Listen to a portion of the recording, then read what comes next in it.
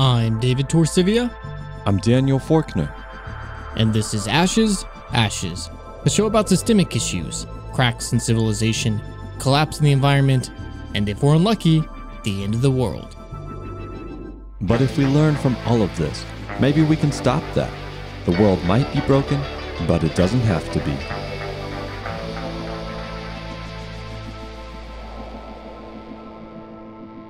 David, we spend a lot of time on the show discussing the systemic issues that we all face. Mm-hmm. Um, and a lot of these issues lead us down a path of insecurity and oftentimes the threat of death, right?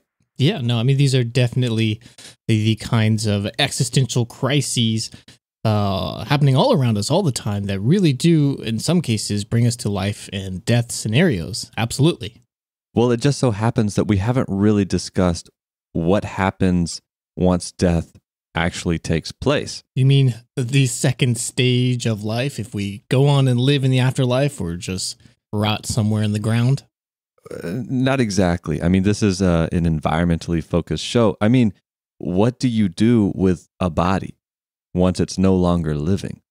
That's a good question. I mean, I, I guess typically, what is it here? You have a choice either you're cremated or you're buried. And that seems to be um, about the end of the discussion as far as I ever hear from people. And for most people here in the United States, what does being buried usually mean? What does it what does it entail? I mean, besides the fanfare of the funeral service itself, it's not as simple as just wrapping somebody in a cloth and placing them in the ground, is it? No, no, no. Um, you you go to a funeral home. It's arranged, and uh, it costs a lot of money. You transfer the body over to them. They prepare it. They embalm it. Uh, maybe there's a viewing. Maybe there's not. The uh, body is is then ultimately put into this fancy, expensive coffin that the uh, funeral director upsold you on, and then you're driven in a car to this fancy, beautiful field where you've bought some sort of plot of land and an expensive headstone and lowered in and and the people who uh, I guess miss you or or want to see you in the ground, one or the other, uh, say their goodbyes and uh, and and that's it. Sounds like a lot goes into that process. Yeah, I, I mean, I guess it's it's something we don't normally think about, but really it's something that we should all be considering because it definitely is one of the only things that we're guaranteed to have to one day deal with in our own lives. And all of this activity, the, the, driving around, of course, but more importantly, that beautiful field you mentioned, all the landscaping and all the material that goes into placing somebody in the ground in a concrete vault and then a, a wooden or steel or copper casket. All this takes resources and it has an impact on our environment. And and I know what people are probably thinking. They're saying, "Oh, how can you possibly come up with, uh, you know, something to complain about death? This is something we've been doing for such a long time." Yeah. You know, I, I looked up the numbers, Daniel, because I was just curious. Um, we're not the first people who are going to die. In fact, there's been 101 billion people who have died before us, give or take. So uh, we're just following in uh, well worn footsteps at this point. Well, you know what they say, David. Um, past performance or history is not uh, a guarantee of future repeat. Something like that. So are you trying to tell me, Daniel, that you're banking on immortality? Look, David, I'm just trying to do my part to reduce my post-life carbon footprint. Okay. Well, let's talk about that. I mean, what is that? Not just the carbon footprint, but the larger environmental footprint that is the traditional burial that we have here in the Western world. Well, let's just focus on the United States for just a second.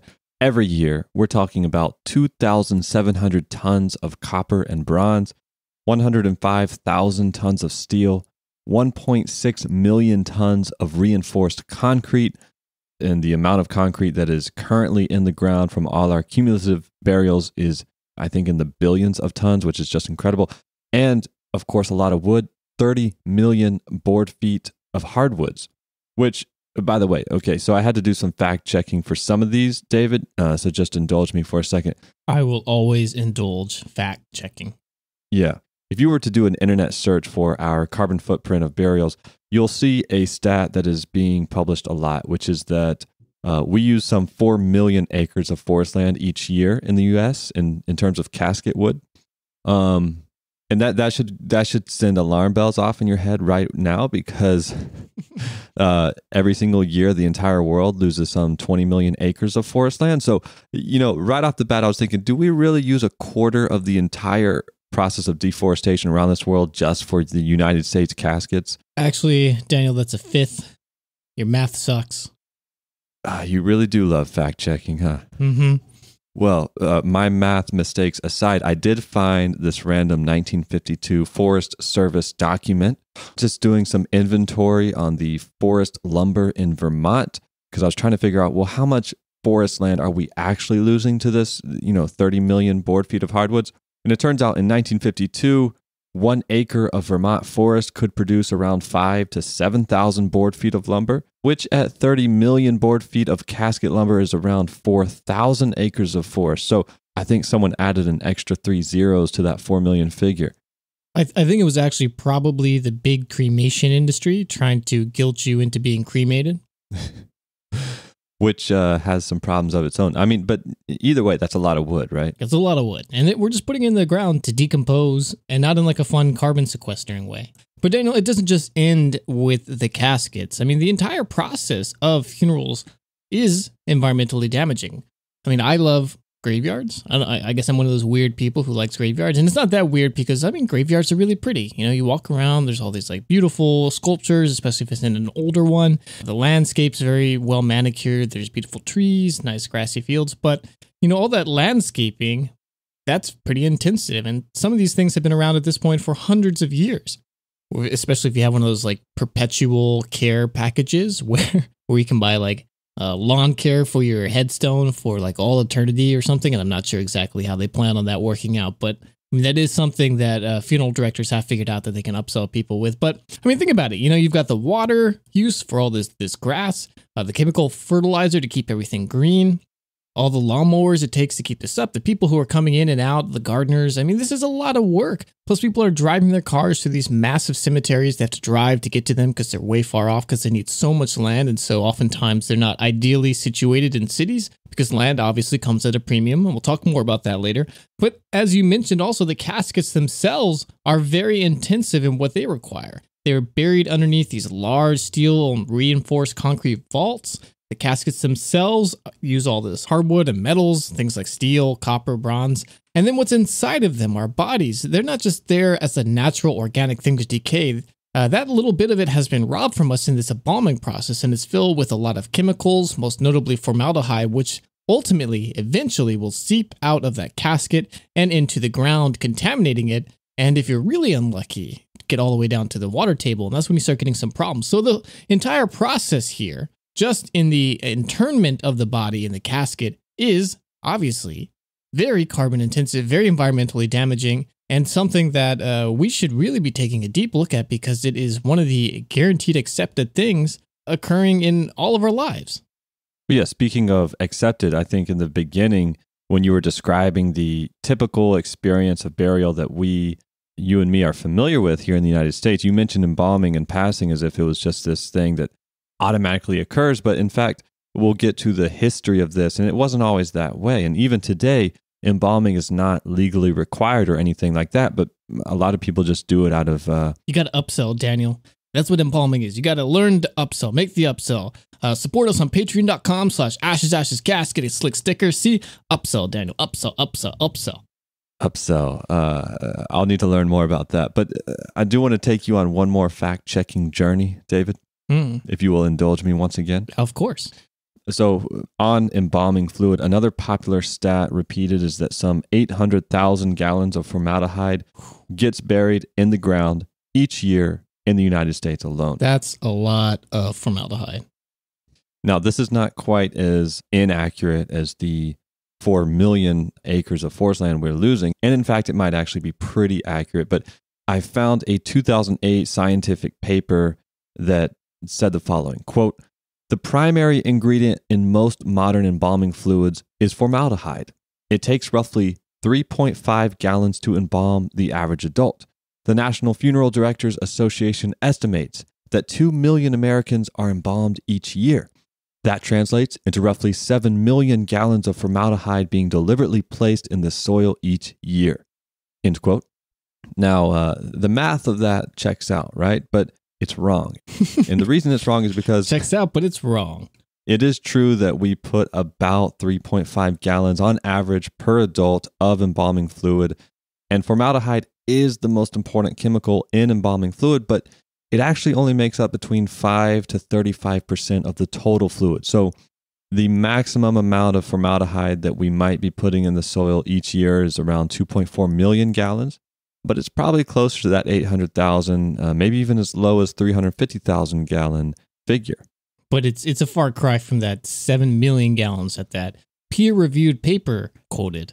Yeah, I just really wanted to point out how much uh, we here at Ashes Ashes don't let anything through the cracks. We are going through every single thing with a fine toothed comb and a magnifying glass. We're questioning the questioners, right? I mean, we are questioning the peer reviewed questioners, the scientists. Nothing gets past us here. It's lies. We fuck up all the time. That's your opportunity for that upsell, David. Upsell, upsell. So subscribe, support our fact checking. Patreon.com slash ashes ashescast. No. Um, yeah, no, I, it really is a good idea to check some of these sensational numbers that come up a lot because oftentimes, like you found, Daniel, you, you chase them through and eventually find one source where somebody just fat fingered a statistic or, or purposefully played something up not necessarily through anything malicious, but maybe just ignorance about this, like you have with this paper, uh, and and then everybody starts repeating it. And it gets repeated over and over and over again, and it's impossible to chase back to see where that mistake first occurred. We see this a lot, especially when we're doing um, things that are sensational in their figures, and so we always try and double check those. Uh, and you'd be surprised at how often those things are wrong. Well, it reminds me of something you mentioned in episode 14, Sweet Release, about going into Wikipedia and uh, Mm-hmm. changing the name of Francis Cameron to Francis Bacon Cameron. James Cameron. James Cameron. Oh, it was James Francis Bacon Cameron? Well, his actual name is James Francis Cameron, director of Avatar, Titanic.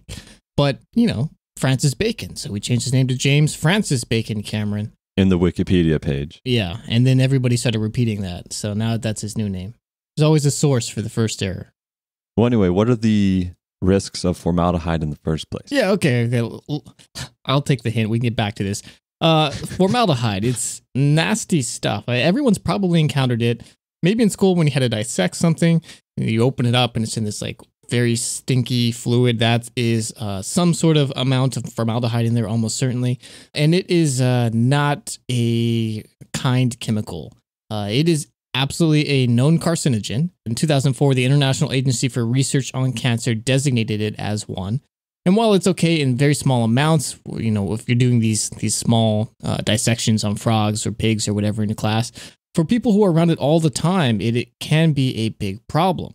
Uh, and this would be something that would be a big problem and concern for embalmers who are exposed to an estimated nine parts per million of formaldehyde while embalming. And this is important because at around 50 parts per million, formaldehyde leads to fluid in the lungs, and at that point, it starts becoming quite fatal as levels increase. In general, embalmers are at higher risk than the average population for various cancers, including kidney failure, heart disease, and liver damage, and this is almost certainly because of their prolonged exposure to formaldehyde. And at this point in time, formaldehyde's environmental risks actually aren't really studied that much. Um, I guess there's not a lot of money to bring down the funeral industry, but the WHO, the World Health Organization, reported in 2002 that in the environment, the chemical can kill marine life and prevents the growth of some plants. So it's probably not a good idea for us to continuously dump it in the ground over and over through the vessels of our departed bodies. Interesting side fact, Daniel, is uh, the other people who are really exposed to formaldehyde quite a bit. Do you want to guess? Other people? Mhm. Um, Be- Besides, you know, like medical researchers or people who do autopsies, someone not dealing with death. airplane pilots. No, uh, hairdressers. Formaldehyde is a common ingredient for people getting keratin treatments or things like that. So, Oh, that's probably not good because they're probably not wearing proper medical masks when they're doing that. absolutely not. No. No. Tip your hairdressers. Don't get uh, formaldehyde, maybe, in your hair. yeah, but it makes it so shiny. And of course, uh, you mentioned that perhaps some of the blown up stats were propagated by big cremation industry. Uh, But you know, cremation, although it is a cleaner alternative to some of these practices of burial, it's uh, it has its environmental issues of its own. Specifically carbon monoxide, fine soot, sulfur dioxide, heavy metals, and mercury from dental filings are all released into the atmosphere through cremation. And I got to be honest with you, David, before this episode, before researching, I thought that I wanted to be cremated. Um, there's just something about the modern burial practices in the West that I've become accustomed to that just doesn't sit well with me. I don't like the idea of using up all those resources. I don't like the idea of being placed in a vault underground. So I thought, hey, let me just be cremated and then uh, my ashes can be spread among the wind. But the nail in the coffin for this idea for me was realizing that the ashes from a cremated body do not contribute in any way to the ecological nutrient cycles of our earth. You know, because all those nutrients that would go into the soil are, have basically been released into the atmosphere now as a source of greenhouse gas contribution. And so I have decided not to be cremated, and I will likely pursue a different alternative that perhaps we can come back to towards the end of this episode. Yeah, I mean, I, I was in a similar boat, Daniel. I always thought, well, I definitely don't want to be buried. That's a big pain in the ass. You know, if you don't dump me in the woods, then I guess cremation sounds pretty okay. But looking into these numbers, I was surprised by uh, you know how damaging this is. First off, it's an extremely energy intensive process, so it consumes a lot of carbon in the process of turning you into basically carbon. And uh, there are a lot of outgassing that happens from whatever things you get added into your body throughout your life, especially uh, dental implants. Which the burning of dental implants actually, I found this stat in the UK is 15% of all UK uh, mercury emissions are from these uh, cremations of people's bodies releasing this this mercury from their dental implants into the atmosphere, which is insane. But a lot of people do echo your sentiments, at least before we started researching the show, Daniel. And increasingly, the majority of Westerners are cremated. Burials are getting less and less popular, in large part because they're getting more and more expensive. But not every religion allows the idea of cremation. Many of them uh, insist on keeping bodies whole Judaism, uh, Islam, a lot of these things don't make room for cremation if you're traditional uh, in this process. So uh, there are concerns in certain areas that they would like people to be cremated because there's a space problem in bodies, and we'll talk about that in a little bit. But at the same time, you know, this is not the panacea we thought it was because it's actually another very polluting process. So we've got we've got two major things here right now. So we're a traditional burial, where it turns out the embalming and the process of keeping up a cemetery is is very problematic, and then uh, cremation too is also a giant mess for the atmosphere, for energy use, and for everyone who happens to still be alive, their health. Of course, there are many variations in between, especially in countries and cultures outside of traditional Western ones. But I, I want to take a detour, David, down a little bit of a history lane because I found the history of embalming to be pretty fascinating. Enlighten me, Daniel. Okay. Well, you know, embalming in its pure definition just means that you preserve the remains of, of some body, some human or animal, through some method that can slow or prevent that rate of decomposition. Um, have you ever seen someone dress up as a mummy for Halloween, David? Uh, a mummy. What is that? You know, like, uh, have you ever seen the movie The Mummy? No, I've never heard this word before. yes, Daniel, of course. I fucking love mummies. I love the movie The Mummy. Brendan Fraser, he kicks ass. Uh, I, I love all the, the sequels. The Scorpion King one with that weird. Oh, wait, no, that's a different movie. The, the Rock is like a monster in one of them, I think, right? Like the Mummy 3? Uh, I think you got the right idea. Something like that. So a, a lot of people think that kids dress up as mummies as, as a form of a scary costume in Halloween, but that's actually a common misconception. It's not really a scary costume. These are actually intellectual and, and historically literate kids who are celebrating the very long history of embalming by emphasizing the unique Egyptian practice that occurred some 5,000 years ago of removing the organs of deceased humans, dehydrating the bodies, covering the skin with a combination of sodium carbonate, decahydrate, and sodium bicarbonate, restuffing the desiccated body with resin soaked linen, and then methodically wrapping the body with some 4,000 square feet or 370 square meters of linen. That doesn't sound very environmentally conscious either, though, Daniel. But it was an early form of embalming. Well, how, how, do we how do we go from mummies to uh, a grandma looking like uh, she's uh, all waxed up in the coffin today, like we have? So it's a very different process today. The embalming that we know today, for most people anyway, it involves injecting major arteries of the body with embalming fluid, dispersing it throughout the body, and pushing that organic fluid, like blood and, and whatever else was in those blood uh, vessels, out as discharge. And embalming fluid itself, like I mentioned, is, is anywhere between 5 and 35% formaldehyde, which is used because it's a great chemical at killing bacteria, which temporarily slows the rate of decomposition. And it also stiffens the body a bit, which is convenient for the way that we present bodies in a funeral service. But all of this embalming, all this process is done just so that families and loved ones can view the body in a relaxed and dignified position before laying it to rest in a coffin underground. It's important to point out that embalming in this fashion does not actually preserve the body underground. It's, it's kind of a short term thing that was really invented just to slow the rate of decomposition enough so that that funeral service could take place. Well, how do we go from wrapping somebody up so that we can't see them at all, like a like a mummy thousands of years ago, which is a, a pretty good preservation technique because we have these amazing mummy samples today. Um, in large part because of the technique, but also the environment helps a lot. But uh, that aside, how do we go from that to using embalming as a tool to like preserve somebody so that we can look at them for a couple days before we never look at them again? Uh, that feels like there's a gap between the two. Well, and, and this is why I call it a modern practice because it, it actually took off in earnest in North America in the 1860s during the American Civil War. And it took off from there to become a standard practice among consumers but it was first used as an important practice to preserve the bodies of dead soldiers who could then be carried back home for their families to bury. And so it, it kind of arose out of a short term necessity to deliver those soldiers back to their hometowns. But there was a big difference in the embalming fluid at that time.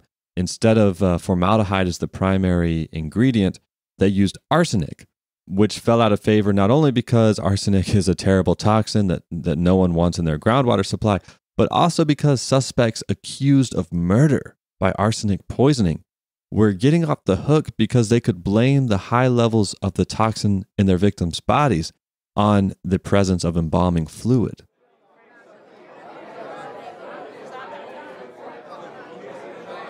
Where am I? What's happening? How did I get here? Sir David, the court finds you guilty of poisoning your co host Daniel with the deadly arsenic, which you slipped into his tea each night before bedtime. What? But, Your Honor, it w- wasn't me. I-, I mean, look around this courtroom. It was that that guy, the Undertaker, that poisoned him. I mean, look at that guy. He's sitting there. He's an old grizzly man. He's literally sitting next to a giant barrel of arsenic with the skull and crossbones on it. I mean, it, it couldn't have been me. I couldn't have been trying to do this to steal all the Patreon money. That'd be crazy.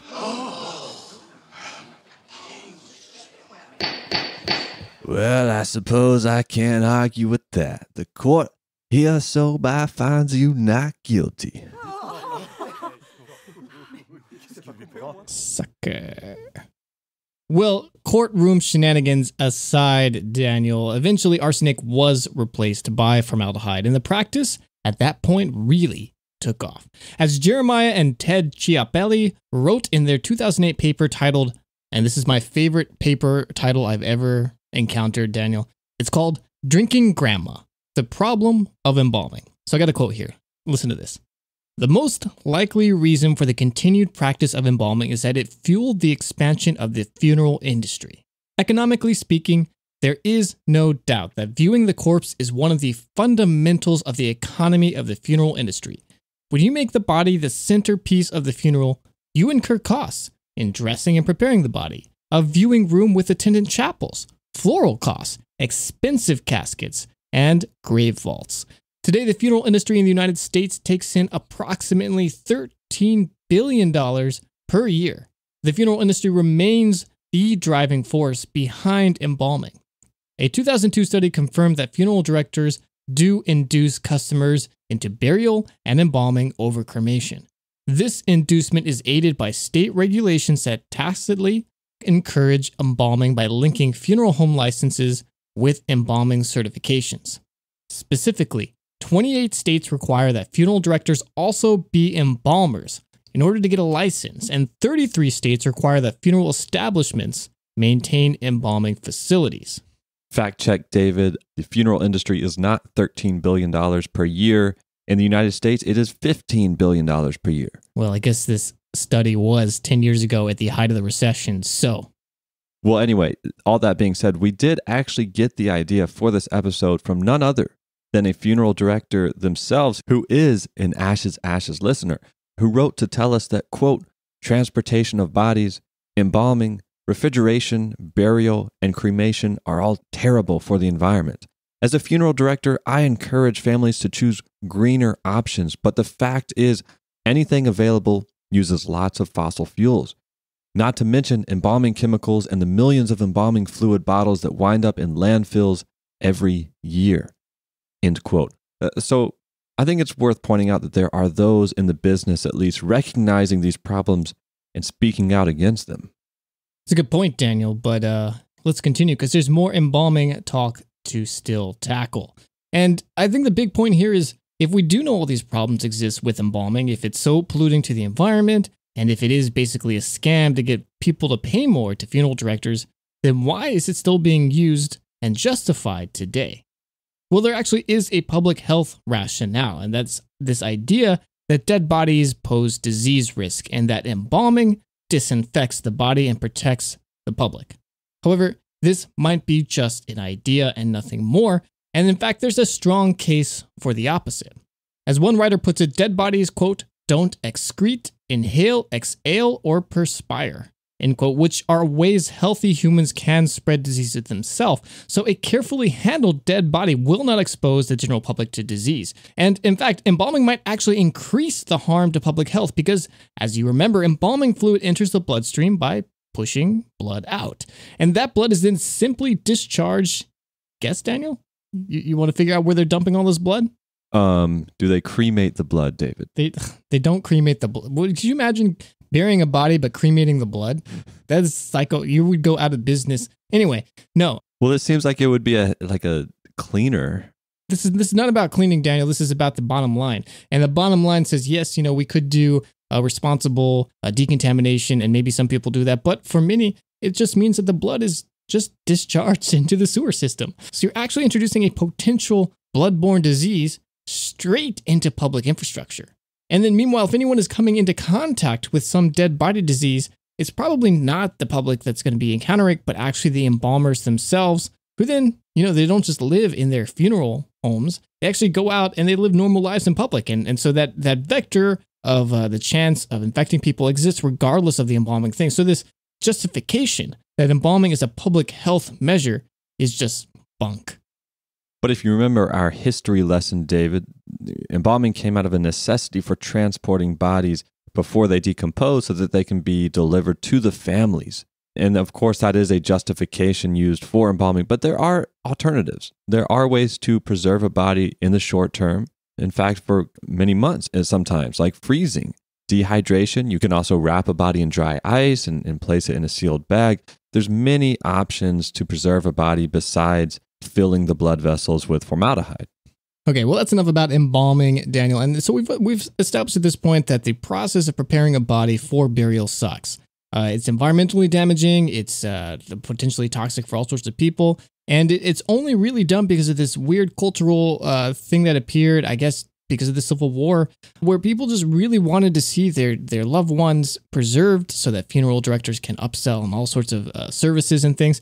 And I mean, I understand that. I, I mean, I've lost people. I've been to uh, funerals with open caskets, and it is nice to look at somebody and see them pose very artfully by a great mortician who uh, makes them look happy and content and it's a nice way to think of their last moments instead of oftentimes, unfortunately, sick in bed. Um, but but you know, our memories are, are malleable things, and we probably, when we're thinking about this person, aren't going to think of them in the casket in a funeral home as our preferred way of remembering them. But we have a long history of, of people that, that we can imagine, memories that are much happier than a funeral home memory. And closed casket funerals are a common thing anyway, sometimes for uh, necessity out of the cause of death for the body, but also sometimes for cultural reasons.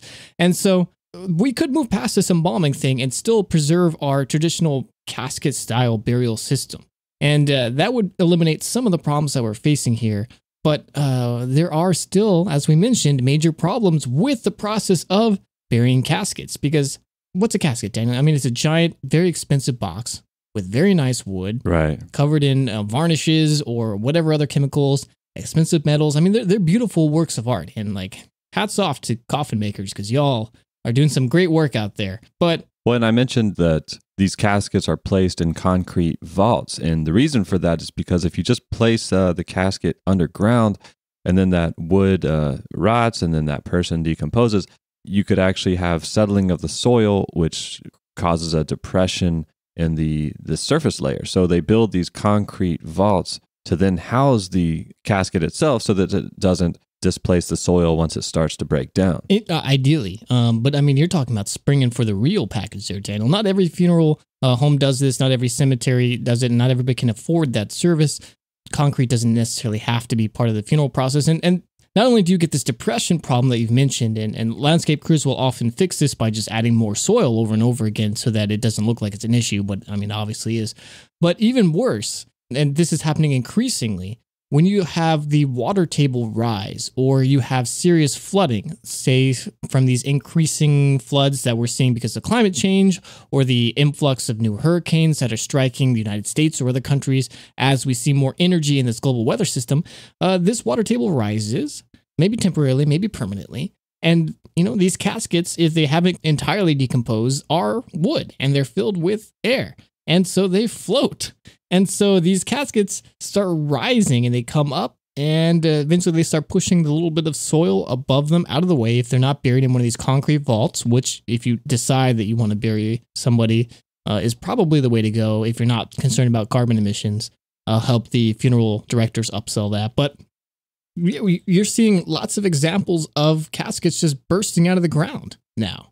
And so these have to be reinterred, reburied. Uh, there has to be new ceremonies for that if, somebody feels like that it's necessary. If not, you know, it's additional cost for these cemeteries, which make the process of burying people increasingly expensive, increasing the costs of buying a lot or one of those perpetual care packages in the first place. And so we have this vicious cycle now where because of our actions as we live, we're making uh, the the very idea of being dead more expensive in a very strange twist of fate. Uh, and there's all sorts of uh, news stories. You can just search them. Uh, caskets coming out of the water because of floods. Uh, we'll link one on the website that you can check out. And and this is like a serious weird problem that we're, that we're starting to see. Uh, and, and some cities have thought about this, prepared for this. Uh, New Orleans, you oftentimes see their very famous above ground cemeteries. Have you ever been to New Orleans, Daniel? Mm, no. Well, you should go. The food's amazing. But if you do end up there, you can also Google this. They have these fantastic, beautiful uh, cemeteries that are just jam packed with above ground uh, mausoleums and tiny uh, individual tombs where the caskets entirely are stored above ground because if they put them below ground, they immediately hit the water table and these things are always popping out. So, New Orleans, as a funeral culture city, I'm not saying that's the only thing that happens in New Orleans, but you know they have a very keen awareness of, of death and funerals more than a lot of American cities, maybe because they have these very visible burial grounds all over the city. Uh, they reformatted how they approach the burial process, and now they don't have all these expensive landscaping costs, though they do have the concrete and other uh, stone issues that we talked about with the carbon emissions associated with that. But there are alternatives to these systems that arise sometimes out of the necessities of the environment, which are being increasingly uh, more present in people's minds as climate change occurs. And we start seeing this shift in what's happening around the world. Well, assuming these submarine caskets stay in the ground, David, uh, that's still a lot of space that they're taking up, right? I mean, that's a lot of land that, we, like we talked about. What did you mention? 101 billion people have died so far. I mean, if we got to fill every future death with a, a big old casket in the ground, seems like it would add up to me. Well, I haven't done the land use calculations, but you're right. It is a significant factor, especially in cities where space is increasingly at a premium. Uh, and this varies from city to city. Some are more intense than others. But I mean, look at New York. So I live in Brooklyn, right on the edge of Brooklyn and Queens. There's actually some very large cemeteries that aren't too far from me. And uh, they go just for miles. I mean, they're enormous cemeteries. The highway actually cuts through some of them. Um, because they're just so big they they couldn't route around them and and sometimes this is development problem. I'll talk about a little bit of that in a moment. But these cemeteries have been around for I don't know 150 years, uh, 200 years, depending on which one and whether it's newer or whether it's older. And uh, at that time, a lot of people in New York City have died. And there are a lot of very vast, enormous cemeteries all over the city. But even still, with all this space, which is worth hundreds of millions of dollars, if not billions of dollars, in terms of its real estate value, they are basically full up. Unless you have some sort of uh, family plot that somebody bought for you ages ago for your family's generations that would eventually grow up and die in New York City, you are probably out of luck of being able to be buried in a place that your family, who also grows up and lives their lives in New York City, can easily visit you from. And so this brings up questions. Do we we can't easily create more uh, cemetery space here because it, it's so land intensive and we need that space for people to live in, for people to work on, and all sorts of things that are more useful than just a pretty place to inter our dead, which does have value. And I'll talk about that also. Don't worry. Don't just, I love cemeteries. Don't just yell at me. Um, but I mean, this is a real problem. And it's enough of a problem that many cities actually have started task forces or departments that are looking at this, what they call burial space provisioning. London did a great report. It's uh, a couple years ago. You can find a link to that. It's called their Audit of London Burial Provision. And it does a breakdown basically saying uh, we estimate this many people are going to die in London every year for the next uh, two decades. And we estimate that based on the demographic makeup of the city, based on uh, the current percentage of people being cremated versus buried, and then also the the, the shifts of religious demographics, who is uh, Jewish, who is Muslim, who is Christian, who is uh, whatever, their different tendencies and, and how they want to be buried, and say, well, we need this many burial spots per year, and we need this many burial spots by X year. And, and what they came out to is saying we need 300,000 burial plots by 2030 if we want to inter everyone who probably wants to be buried by that point. And unfortunately, already a lot of the cemeteries, especially in the inner part of the city, are already full. And there are some that can still take in new places, but many of them are at the point where there's just not that much space left. And they don't have enough space in these existing cemeteries to take in all those hundreds of thousands of people that are going to be dying in the next decade and a half at this point from when this report was first written. So, uh, I mean, they don't have solutions really in the report. It's more just like, just so you know, this is going to be a problem coming up. But this is a problem. And, you know, it's important to be able to visit our dead. We don't want to have to bury someone way far off away. I mean, I mean, for many people, culturally speaking, and and have to travel a long time to visit them. Death is an important part of our culture. The memories of our loved ones are important, and we're having to face at this point this idea that we need to shift our cultural ideas around death because of these simple things like environmental concerns or land use concerns, which is kind of an interesting thing. Um, and I'm, I'm very interested to see what's going to be come of this the next few years and decades. And I think a lot of these future burial styles and techniques that we'll talk about a little bit will be part of that movement. But you know, at the same time, maybe it'll it'll offer us some larger concepts of our relationship with death and the relationship death has with their cities because you know, increasingly, as I mentioned, cities are partitioned out as much as possible into usable land, right? Everything has to be either a place for housing or a place for work or industry or whatever it is. And there's very little that's left just to be a place, a land to gather on, public space, park, whatever. And the parks that are often built are designed in such a way that uh, it enforces certain activities that the government feels are, are beneficial or preferred, but cemeteries, oftentimes, because they are places that are supposed to be open to come in and visit the deceased, have lax uh, rules, at least during the day, about people entering and leaving. And in a busy city, in places where there is very little green land, cemeteries are a significant component of that green space. And there are lots of people who travel to them to just find them as as nature preserves basically in these large cities. And and not only people, but also uh, animals, birds, insects, all sorts of life that normally would be pushed out of a city find a safe haven, a refuge in these cemeteries. And that public space component of this this way of interring the dead is a very important thing. And I don't want to gloss over and say we should get rid of cemeteries because I really don't think that's the case. We have a particularly beautiful cemetery in Atlanta called Oakland Cemetery, and I, I actually have quite a few friends who love to visit the cemetery uh, just to get out and feel a part of uh, nature or, or something serene. And they take walks there, and it's a really important part of their reconnection to something other than the busy city life. Yeah. Uh, there's a beautiful cemetery in central South Brooklyn called uh, Greenwood Cemetery. It not only is it filled with just uh, unbelievable sculpture and architecture and art, but it's filled with people just wandering around and enjoying an empty, quiet space in the city because refuges aren't just about, you know, hiding from concrete and stuff, but also from sounds. As we've talked about episode 44, Do Not Disturb, where we talk about the importance of these natural soundscapes and the fact that in our urban environments, they're very hard to find. So these places are important. Uh, Greenwood Cemetery in particular is interesting because it is the home of parakeets. Actually, you can find a bunch of parakeets there just living in the middle of New York City. It's uh, a little refuge in this otherwise concrete and gray place.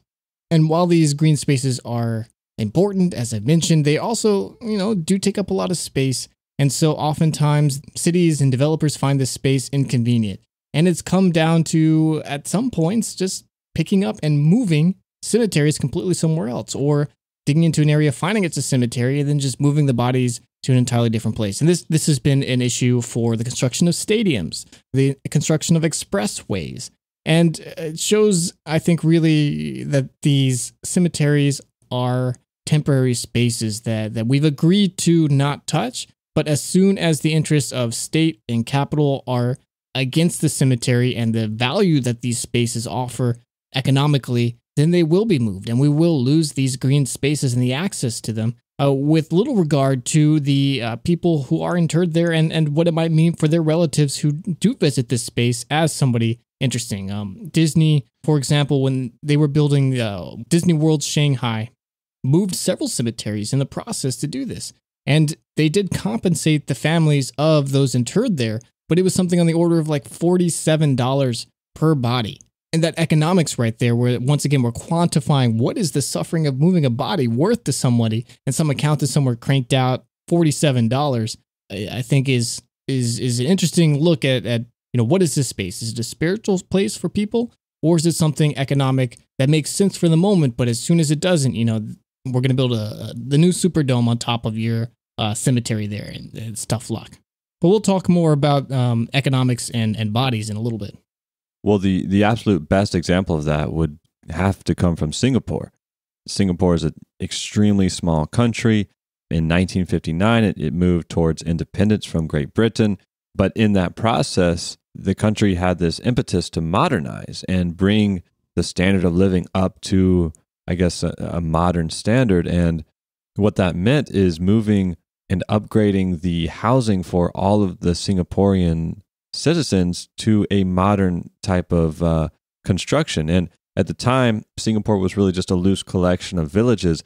And within five years, this modern housing development board was created and had moved 400,000 people into vertical buildings, which is just an extremely rapid change of pace. And one of the challenges that they had was well, what do we do with all these burial grounds? Because Again, Singapore is a very small country. It takes less than an hour to drive across the entire thing. And so you don't really have the option of acquiring more land or developing outward. The country could only develop upward, but it meant that this all this land that was taken up by hundreds of thousands of bodies uh, had to be moved. And at the time, you know, burial grounds had a very deep and rich cultural tradition with whole villages being centered around them very elaborate customs and traditions around honoring the dead. And long story short, just about every single grave in Singapore was dug up and the bodies were cremated. And now these huge columbariums exist where every single urn containing the cremated remains of, of a person is stored. And it was a huge dramatic shift in culture, a huge dramatic shift in economics. And today, some 80% of all Singaporeans are cremated and the podcast 99% Invisible discussed some of these shifts in their episode Life and Death in Singapore. Well, these places with compressed spaces, I think, are really interesting explorations of what death is worth and whether it's uh, can overpower cultural norms of how we deal with death and the practicalities of you know the limitations of that space or whatever other concerns we might have. Uh, Hong Kong is another great example here where people are literally spending tens of thousands of dollars, as much as $30,000 for the purchase of a burial plot. Um, and, and you can you can actually like go in installment plans, pay these out. Um, in some cases, uh, it's easier and cheaper to live, like to actually buy a place to live in in Hong Kong than it is to buy a lot to put your dead body in. Um, and, and so because of that, as you mentioned, they have moved a lot to cremation, but even the cremation and, and the places to inter those are coming up with a, a large premium for this ability. And some of these centers have as much as a four to five year wait list to be able to put your ashes or, or this cremation jar into one of these facilities so that other loved ones can come and visit there. These exploding costs in the funeral world has actually spurred a lot of uh, innovation, and I say that with that innovation uh, intonation because um, some of these things feel sort of weird, and I'm not sure what I feel about uh, major investors and VC uh, people coming into the funeral world. But uh, for example, once again, in Hong Kong, they want to build a giant floating barge that can hold hundreds of thousands of urns at a premium real estate place because there's just not enough land to put these things in. You've seen in other places uh, more innovations where you know you've only got so much space to bury down, right? Typically, people just put one casket in and that's it. But now there's an increase in doing double decker tombs. Uh, this is actually happening in London because of those space concerns, where they will intern a couple people in a tomb and modify the headstones so that both these people or, or multiple people are all on there. You're starting to see caskets buried not lengthwise, but vertically. Uh, which was a common practice in the past, but fell out of favor. But now that uh, land is at a premium again, we are doing this once more. And then in some cases, you know, we have mausoleums and stuff above ground where we construct this and stack caskets, uh, maybe, you know, four or five high. But some people have taken this to dramatic extremes. For example, in Brazil, there's a skyscraper cemetery, Daniel. A skyscraper cemetery? Yes. The uh, cemetery meaning like there's dirt? No, I mean, it, it's a literal skyscraper. There's a skyscraper. It's called the Memorial Necropole Ecumencia. And I, I know I butchered that. I don't speak Portuguese. I'm sorry, Brazil. But this is actually a 14 story building that is just filled with uh, caskets. And it, just, it doesn't look like a mausoleum or anything. It, it, honestly looks sort of like a resort. It's just built on the side of this building. Um, there's a, a cool little mini documentary about it. We'll link it on the website. It's called A Tomb with a View. But it shows these new ways of thinking about, well, what do we do with the dead? And this is something that is increasingly becoming a question because we're running out of space, like we mentioned. But of course, all of these things come at a cost. Building a skyscraper to inter your dead is, you know, when we come back to those carbon concerns, this is much more expensive than just burying someone in the ground. Uh, there are different environmental costs on, on either end, but it seems increasingly that if we want these traditional forms of burial or cremation, that we're pushed to make sacrifices with our choices and that there aren't really good solutions here. Um, and, and we'll get to some of that in a little bit. Well, David, before we go on, I want to just touch on another aspect of cemeteries for a moment. The way we practice death, in a lot of ways, mirrors or is an extension of the way that we live our lives, both individually and uh, as a society. And here in the United States, we have a long history of segregation, discrimination, and exclusion.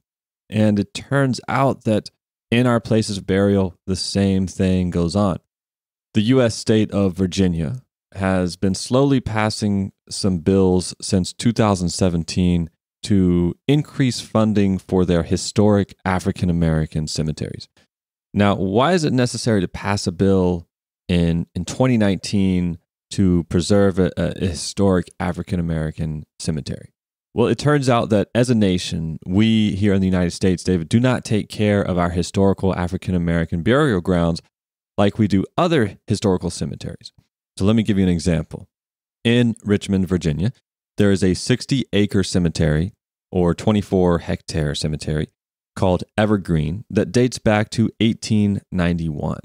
And in this cemetery, there are some really historically notable African Americans who are buried. And, and this is a purely African American cemetery. And these African American cemeteries exist because black people were excluded from every other cemetery. So they had to find their own land and, and figure it out for themselves. So, buried in Evergreen, we have Maggie Walker. And she was the first woman to charter a bank in the United States. Not the first African American woman, but the first woman, period.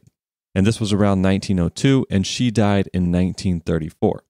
Another African American buried in Evergreen is John Mitchell Jr.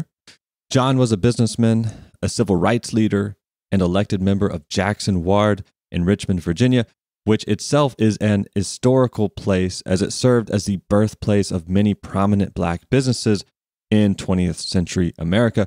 But John also built one of the nation's top progressive newspapers at the time called the Richmond Planet. And he was, of course, born as a slave in 1863 and he died in 1929. And I want to just read his tombstone right now. And it reads, quote, editor, banker, alderman, and pioneer of civil rights, a man who would walk into the jaws of death to serve his race. And then the verse, Isaiah 55 4 Behold, I have given him for a witness to the people, a leader and commander to the people. And this cemetery, where Maggie Walker, John Mitchell Jr., and countless thousands of other African Americans are buried, is in disrepair. Here is Brian Palmer writing in 2017 about Evergreen and its next door cemetery, East End, which is also an African American cemetery. He writes, quote, Thick, tangled vegetation has swallowed headstones and grave markers. The chest high spring and summer growth is gone or going, so we're left with the year round diehards that have grown every which way over the decades English ivy, brambles, privet, Chinese sumac sprouts everywhere and has grown tree high and tree thick, competing with and winning against cedar and oak. Beneath it, we find pockets of illegally dumped trash. We also find headstones, fragments and corners of which a volunteer spots beneath the carpet of ivy. I tend to find them with my feet by tripping over them. Even sections we call clear will look scruffy and forlorn to people accustomed to manicured cemeteries. There is no lawn, just a patchwork weeds, dead brown leaves, bare earth. Headstones are cracked, askew, even shattered by nature or by vandals. Encroaching tree roots have buckled and broken concrete curbs that once enclosed family plots. End quote. And so long overdue, in 2017, Virginia passed a bill to recognize the need to preserve African American cemeteries like Evergreen and East End, specifically for people buried between 1800 and 1900. But it, it kind of pales in comparison to the attention given to white historic cemeteries where Confederate soldiers and generals are buried, which is significant because the Confederacy fought in large part to preserve the institution of slavery in America. And in fact, there are two Confederate cemeteries just a few miles from the African American Evergreen and East End cemeteries that have received tremendous state funding. One of them received the equivalent of $200,000 in 1914 for the preservation of Confederate general graves, and another Confederate cemetery is actually owned by the city itself, and taxpayer money goes to provide a little extra care to those Confederate graves. And Virginia's bill, which I think allots some $35,000 a year to the preservation of African American graves, is an important gesture, if a small one, but other attempts that have been made to expand support for these historic burial grounds have not been able to move forward. And other states in the country, in fact, do not make any attempt to preserve or even find so many of these African American uh, burial grounds. In fact, Mississippi and Alabama both have laws that divert taxpayer money to erecting Confederate monuments and purchasing and preserving Confederate burial grounds. And Mississippi actually refers to this as patriotic donations, but uh, these states have no similar laws and, and none are likely to exist for preserving historic African American cemeteries. So while white cemeteries get state funding, black cemeteries still rely on volunteers to help with cleanup and preservation. Here's a quote from a book called Landscapes of the Dead An Argument for Conservation Burial by Alexandra Harker. Disposing of the dead has been a necessary public service for as long as humans have lived in communities. Burials intertwined with the spaces that humans occupy and cemeteries have, through history, provided open space to urban residents. Mount Auburn Cemetery, which opened in Cambridge, Massachusetts in 1831, is one of the first large scale urban public parks in the United States. The current American funeral industry, however, no longer plays an integral role in community or ecological preservation. End quote. And that last line, Daniel, uh, it's something we've already talked about on here. The current American funeral industry no longer plays an integral role in community or ecological preservation. That stands out to me. You know, I was mentioning those public spaces earlier, Daniel, those parks that people enjoy. Those aren't new cemeteries. Yeah, they're still operated. Yeah, they still get occasional burials, but they've been around for 100, 150 years. And, know, so often, unfortunately, these modern cemeteries that I encountered aren't things that are open and, and beautiful spaces to relax and find yourself in, but are ringed with razor wire. Well, again, David, it kind of goes back to this concept that the way we live our lives as a society carries on to how we think about death and how we treat death in our society. And that line you read, I think, is important because we, we talk a lot in this show about how many of us in modern society have lost connections to the land that sustains us. And we have lost connection to a sense of community. And what better barometer of life in our world today than the way we go about death? And coming back to this like concept of segregation in the afterlife, so to speak, you know, funeral directors have received a lot of bad publicity, especially following the industry deregulation in the 1970s, during which the cost of funeral services skyrocketed. And many in the industry took advantage of this family vulnerability at the time of death to charge those hefty fees for embalming and other unnecessary services. And throughout the years, the funeral industry has become, in many ways, a poster child for corporate greed and exploitation. But this was not the case everywhere in American culture. In the same way that black people were denied access to burial grounds and cemeteries, the funeral industry was largely dominated by white business owners who explicitly denied their services to black families. And so, out of this need came the black undertaker, the black funeral director. And this was, in fact, one of the earliest forms of entrepreneurship for Black people in the United States. And because Black people took on this job as a form of necessity to serve their community, the way they went about it differed dramatically from their white counterparts. So I want to read an excerpt from an article by Dr. Kami Fletcher titled What Jessica Mitford Missed. Quote, African American undertakers were not concerned with tricking mourning families into turning over their life savings to bury their loved ones.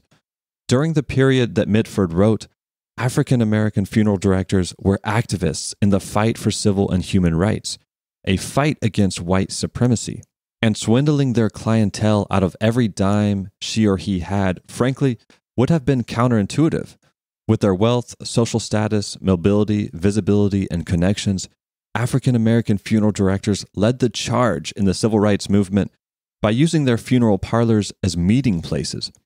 They threatened not to buy their funeral cars from white establishments if they didn't hire African American workers. African American funeral directors bailed out jailed protesters. African American funeral directors fought for justice. They did not have time to collectively concoct schemes to exploit the bereaved. As a viable trade and then profession, African American funeral directors used their newfound financial success to help others in the black community. They invested back into their communities because the majority believed in racial uplift via self help. That is, only black folks are going to help black folks up the economic ladder. Case in point, African American funeral directors were involved in many social clubs for the betterment of the community and financially aided others in times of crisis. End quote. All this to say, David, that the business of death, so to speak, does not have to be an alienating process. It can be rooted in community. It does not have to be a business in which funeral directors are only looking for ways to take advantage of vulnerable families to make a quick profit. It can be made up of people who we know and trust and who care about our well being. And it does not have to continue to be a business that contributes to environmental degradation. It can be made up of funeral directors like that listener who wrote us to say, We need green alternatives, and who is actively encouraging their patrons to seek those alternatives. And uh, I guess as we can talk about now, you know, the business of death does not have to be one in which our bodies are placed in ground that we have no relationship with or history with. I guess this brings us, Daniel, to the point of asking. We we've talked about cemeteries, we've talked about cremation, we talked about embalming. Like all these things vary from troublesome to just outright bad. And so I think it's time to start looking at alternatives. What is going on outside of these options? And I mean, off the top of my head, you know, we'll, we'll, when we started the show and we say, okay, I, I would like to be cremated. That sounds like the best idea since apparently you can't just dump bodies in the woods. And that's a better option than burial. But then we find all these problems with cremation and all the storage and stuff is an issue. But beyond that, what other alternatives are there? And I'd heard there are some things like you can get turned into a diamond that's a thing that that some people do, but that seems like a pointless, energy intensive process. Um, you can get launched into space. What? Yeah, Like the like that car? like that car. That par- that car that definitely had uh, a dead body in the trunk. Uh, it's a perfect crime. no, um, I, Just wait till our space police get a hold, you know, pull that car over. well, no, I think it's actually um, this is this is actually a cremation process, so I don't think it's any better. But if you want to be like extra, just like fuck the earth, fuck carbon, um, you can get cremated and then launch into space. At least there's a waiting list to do it. I don't know if they actually are launching, but that's an option. Um, and and then you start, you know, the the typical things. Uh, you could donate your body to science, Daniel. yeah, I mean, I am a, a donor or an organ donor on my uh, driver's license, uh, but I guess donating your body is kind of the same concept, right? Give my brain to science. Well, actually, I'm glad you brought up the organ donating uh, situation here because I, actually, I'm pretty sure my brain would be worth like uh, no, I don't know what you're about to say, but no. Um, so your brain aside, Daniel, I'm glad you brought up organ donations because that is, I mean, it feels like it should be similar to donating your body, right? I mean, these are literally parts of your body. Somebody could use them. right. But in the eyes of the law, these are two very different things. And so the US has very strict laws about uh, organs, uh, transplants, donations. Uh, it's very, very, very illegal to sell your organs for any reason. Um, but it turns out it's not illegal to sell body parts. And in fact, most of the bodies that are quote unquote donated to science are bodies that are bought by uh, what, what are called body brokers. And they hate that term but uh, body brokers, or as they like to say, uh, non transplant tissue banks. Mm. And this is an industry that is basically entirely unregulated and deals with the trade of bodies and body parts. Ah, So at this point, you're probably imagining uh, the old body trade that, that many people are familiar with, where uh, in the 1900s and the 1800s, people were just literally digging up bodies of the recently deceased, selling them to doctors and researchers so that they could do experiments on them, autopsies to see how the body ticked, to do experiments to test out new surgical techniques. And this was a healthy black market and body trade. Uh, there were a lot of actual scientific uh, advancements made in this process, but it was literally a black market of bodies. so healthy in the sense that we got some uh, scientific knowledge out of it, but still a very illegal, uh, under the table process. Well, illegal and unethical and immoral. But if you ask the opinions of the scientists, researchers, medical doctors who were working with these bodies, they would say, well, you know, it's, a, it's just a body, it's a hunk of meat. And uh, what I'm doing with it now is uh, good for all humanity, and the soul has already left. So uh, screw it, it's fine. But of course, the people whose loved ones that this body was didn't quite agree. So uh, time went on. We have a lot of doctors now that we want to train with cadavers, with dead bodies. We have to give them to do uh, autopsies, to practice uh, surgical techniques, so that we're not just practicing immediately on live bodies of people who actually need these treatments. And so, in the medical world, this body trade is very important for the education of a new generation of doctors. And not only that, it's also used for all sorts of things like testing new surgical tools, uh, various experiments, and I'll just leave quotes around that. And uh, then again, some uh, more unsavory uses, though those tend to be more black markety. And uh, there's not a lot of detail in it. Overall, this whole industry operates almost entirely in the shadows because we don't like the idea that when we donate a body, that it's actually being used for profit. But the vast majority of these body brokers and donate your your body to science programs are just for that. They're for-profit companies that take bodies that are almost always donated. So they're getting these bodies for free. In exchange, they offer a service to the surviving family members who donate the body. And that service is typically at some point, once the body is finished being used for whatever experiments it's it's bound for, is cremation. And so what you end up having a lot of the time is this is a service that people who can't afford the exploding costs of funerals or cremation uh, engage in. So the vast majority of these bodies are the bodies of the poor. Mm. So this industry exists primarily to profit off of the fact that poor people can't afford the traditional ways of dealing with a departed loved one because of these exploding costs in death. So what what do you think a, a body's worth, Daniel? Um, by itself, uh, five thousand dollars. That's, that's actually dead on. So the high end of a body, and remember this is entirely donated, is worth about five thousand dollars. And uh, this could end up anywhere from a medical school where uh, young students are going to be practicing autopsies to being sold to the military to test landmines. Wait, what? Yeah, uh, some of these bodies that are donated to science find their way into the U.S. military's hands to test explosives. Hold up.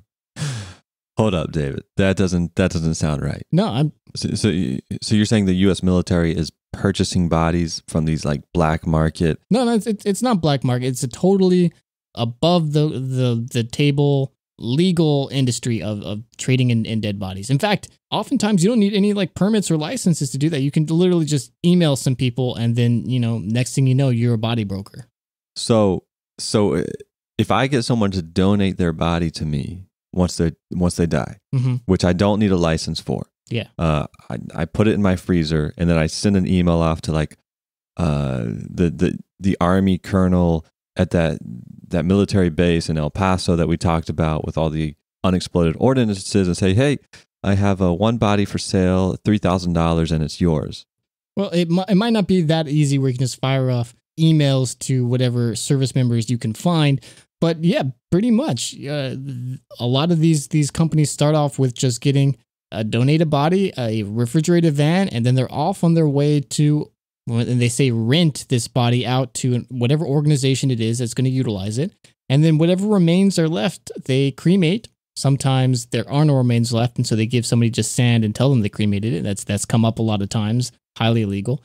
And uh, then return that to the loved ones. And uh, the body could have been blown up. It could have been experimented upon. Could have been used for teaching stuff. What about the individual parts? Like, do you think there are people like selling arms and legs? Oh yeah, well that's the other side of it. Is that most of the times people don't want a full body.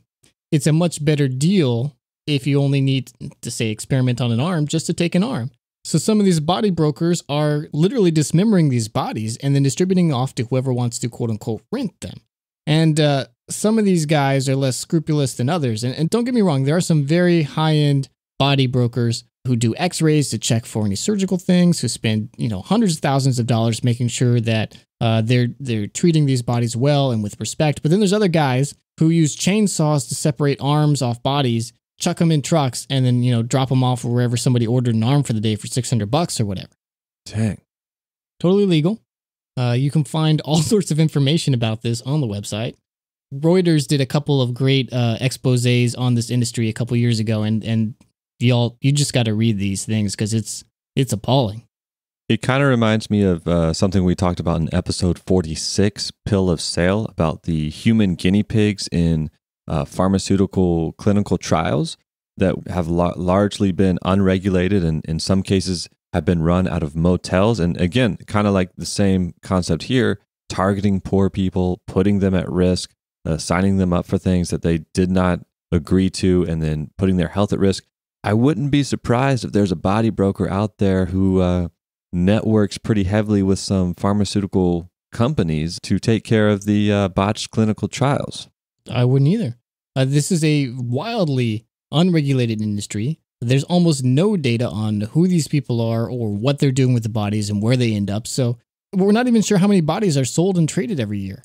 Uh, at the time of that that Reuters report, they found that in four years they calculated probably about 200,000 body parts and over 50,000 bodies were traded in the United States alone. And of course, this is a worldwide phenomenon, but uh, different levels of regulation and legality in different parts of the world.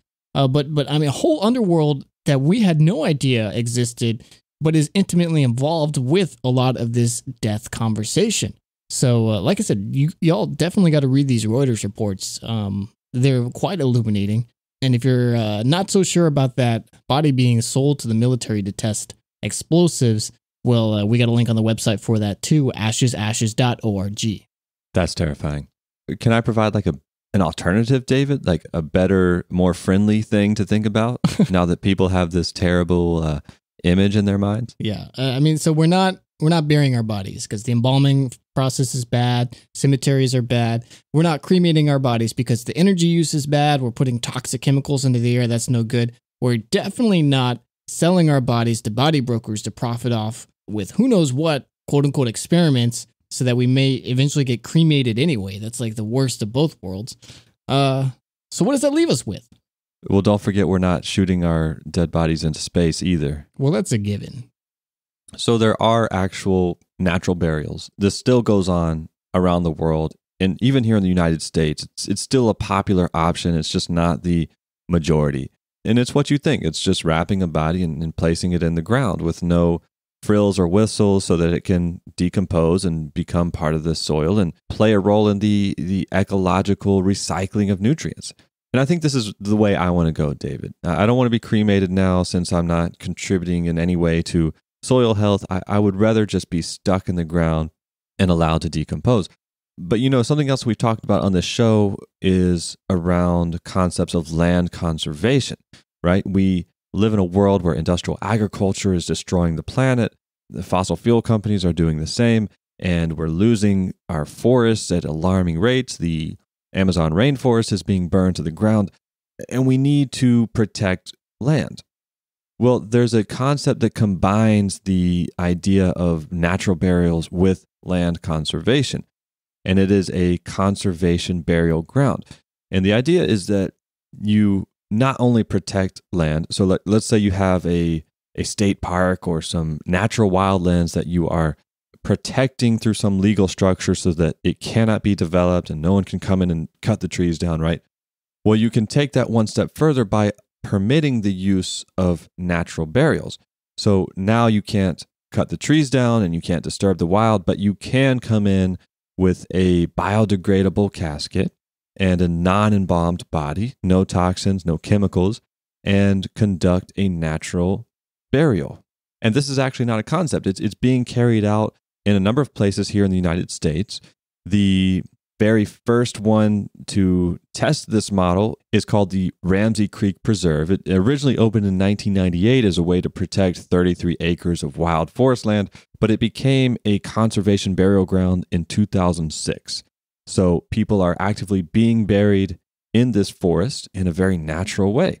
In a lot of ways, this is cheaper than a typical modern burial because there is no concrete vault, there's no embalming, and the caskets themselves are very low cost. They're usually made out of something biodegradable like bamboo or some other uh, natural material. But you know, most importantly, in my mind, these burials represent an intentional decision to connect death with the environment in an ecological friendly way that simultaneously fosters a community connection to land, which cemeteries don't necessarily do. Because again, as you talked about earlier, I think, David, you know, cemeteries, often we don't even really know where they are, but then someone dies and it's like, okay, well, where's the nearest cemetery? And you go and it's it's a very carefully manicured landscape that's not natural in any way. There's no real history of that land unless you you happen to know other people who are buried there or you happen to go there or maybe you have a family plot. But with a conservation burial ground, the landscape itself can become a source of rich cultural familial and community history and identity, right? I mean, what does it do for people's motivation to take care of the land when every week they walk through a forest, the same trees to get to their loved one? What does it do for our sense of community when we all need to come together to protect this place that is uh, important to us, right? Who's going to allow a lumber company to come in and chop a tree down when you walk past that tree every day to go see your loved one and, and you know this place and it's a place of meaning for you. And I realize that this is not possible everywhere, right? But I think it's an amazing idea and, and we should be encouraging more alternatives to the modern burial like this. I mean, I think that's probably the best way uh, of all the burial techniques that I've, I've heard, Daniel. I, I think that one's my favorite. Do you have any idea what the cost is?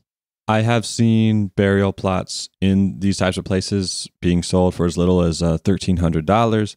I saw one w- where the highest costing burial ground was $4,500 because it was on a hill. But remember, the average cost today in the West for a funeral service is around $10,000.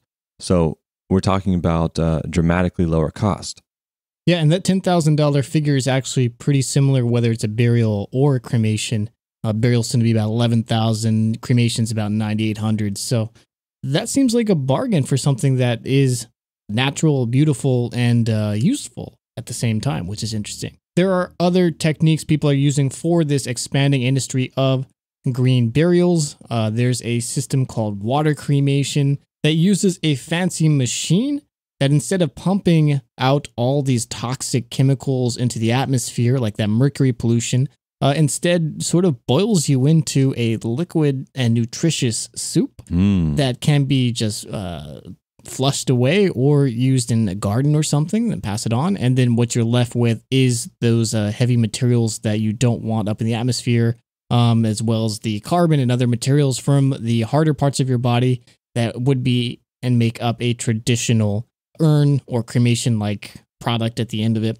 There's also a technology called promession, and I hope I'm saying that right. It's based on the word promise that is more popular in Scandinavian countries. It's expanding there. I'm not sure if it's available in the United States, but this is another type of natural burial where they basically cryogenically freeze your body, Daniel, with liquid nitrogen that turns your body to crystals, more or less. And then they vibrate the body. So it disintegrates into basically a couple of dusts or particles within a couple minutes. Like you're literally shattered into pieces. So it's just like those cartoons where uh, you know someone shoots somebody with a freeze ray and then Then they, yeah, shatter into pieces. yeah, shatter into pieces. Yeah, they do that with your body after you pass. And then once they've taken that, it's, they don't stop there. Then they freeze dry these pieces, which gets rid of you know some of the uh, excess liquid materials that we don't necessarily need, which will make it messy whenever it thaws. Then they separate out all the metals, things like dental fillings, other products, things that could contaminate the soil, and then they put this whatever's left of your body, all the organic elements, put in a biodegradable casket, which is a very small casket, which is then interred in just the very top level of the soil. And then that's starting to be digested by bacteria, which love this nutrient rich soup of your body and uh, returns all of your uh, rich nutrients into the earth so that you can regrow new life in this process. What will they think of next, David? Well, I mean, technically that company went bankrupt, but the technology is cool, and I, I hope it uh, comes back. I've also seen companies that have sprouted up that will put your uh, body in a pod of soil, then attach a, a tree to it, and then put you in the ground. Yeah, that's another cool technique. The only problem with that, though, is that if that tree happens to get like a fungus or something, or uh, doesn't grow, and then you, you know, this this this grave that you come to uh, remember your loved one that was supposed to grow into a beautiful tree is just like dying. But hey, you know, circle of life, it's all good. Well, circle of life. That's a good way to put a lot of these conversations. And, and I mean, these are very Western ideas of burial or cremation. And there are other cultures that have very different types of burials, things like sky burials in Tibet, where your body is basically left out for birds to eat. And then I guess you, you're part of that uh, ecosystem at that point. For some reason, I feel like that's the way that you would want to go, David. It sounds pretty cool, but getting my body to Tibet is probably not so useful. I I don't think you could just leave my body out in New York. It would be eaten by pigeons and cats, which is kind of the same thing. But I mean, all these ideas are different ways that we can explore our relationship with death and the places that that we encounter death these cemeteries these mausoleums these skyscrapers in some scenarios and I think as time goes on, it's very important for us to reconsider our relationship with death and how we want to be interred, how we want to be remembered, and how we want to live our lives and leave our remains for those who live on past us. Right. It, it's something to think about. You know, not everyone has the privilege or luxury or or lives in a geographic place where it's possible to be sent in a concrete ball to the bottom of the ocean to feed the coral reefs or e- even do one of these natural burials in a preserve. We all have to make a choice that's right for us where we're at. But it, it's something to talk about with your loved ones. Think about, you know, if there is a greener alternative, consider it. You know, that embalming practice that exists only to preserve a body for a funeral service, maybe that's something you don't think is necessary, right? I mean, if you did a natural burial, perhaps you wouldn't get to have an open casket. But again, this this practice was kind of created out of a corporate model of how do we charge more for our services, right? An open casket was kind of a way to do that because it required, you know, all this uh, extra labor on the the part of the funeral director. Then they had to create that event and service it. And for a long time, this is not how funeral services went. It's not how we buried people. And so there are lots of different models, and it might be worth considering if you would be okay with a different option. That's a lot to think about, Daniel. And think about it. We hope you will. You can find tons of information about everything we talked about today. Read those Reuters reports on the body trade, find information on other funeral practices, as well as read a full transcript of this episode on our website at ashesashes.org. A lot of time and research goes into making these episodes possible, and we will never use ads to support this show. So if you like it and would like us to keep going, you, our listener, can support us by giving us a review, recommending us to a friend, discussing these issues and topics with your loved ones, or sending us financial support. And you can do that one of two ways. Number one, go to patreon.com slash ashes ashes cast. Send us some love there. We really appreciate it. Uh, a number of people have done this already, and, and we're sending stickers out to you collectors. We appreciate you, and we hope that you are putting those stickers on your water bottles or hopefully your environmentally friendly water bottles and uh, you know spreading the news another way though that you can support us is going to our shop which we announced uh, several months ago and we were kind of perplexed because uh, we we spent all this time setting up this store and we said wow no one's buying our stickers and uh, turns out that for the past uh, six months or so the store has been broken uh, some coding issues were there so we apologize for that, but it's uh, it's up and running now. So you can go to ashesashes.org slash shop. Also, we'd like to thank our associate producers, John Fitzgerald and Chad Peterson. Thank you so much for your support. There are tons of ways to reach out and talk to us, and we want to hear from you on all of them. The easiest by far is just to send us an email at contact at ashesashes.org. But we also have a phone number that you can call in, leave us a message. We're going to integrate these all into an amazing call in show. The number for that is 313 99 Ashes. That's 313 992 7437. We're also on all your favorite social media networks, and we are posting tons of stuff on there every single day. So be sure to check those out. That tag is Ashes Ashes Cast on every network. And if you want to join us in the conversation directly, you can do that on our community chat. If you go to our website, click Community, Discord, you can find the link to that application, and we are all there. We'd love to hear from you on it. It's a great group of people, and we're always looking to expand that family. Next week, we've got another chat episode, so we're looking forward to that, and we hope you are as well. But until then, this is Ashes Ashes. Bye. Bye bye.